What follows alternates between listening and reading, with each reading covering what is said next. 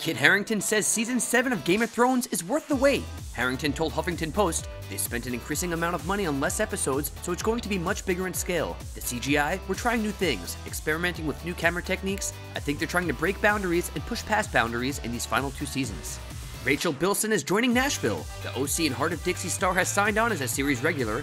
Despite all the rumors, Richard Simmons is not being held hostage. LAPD officers performed a welfare check and spoke with Simmons recently. Detective Ken Backer said, He is perfectly fine and very happy. I don't know what he's going to do, but right now he's doing what he wants to do, and it is his business. Simmons has not been seen outside of home for several years.